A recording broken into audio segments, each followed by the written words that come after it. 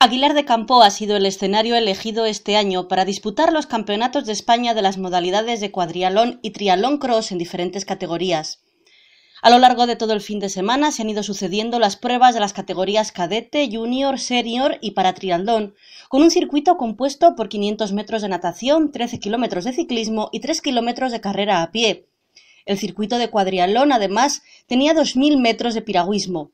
La Villa Galletera ha recibido la presencia de cientos de corredores acompañados de familiares, visitantes y aficionados que han convertido la localidad en un destino deportivo protagonista durante estos días.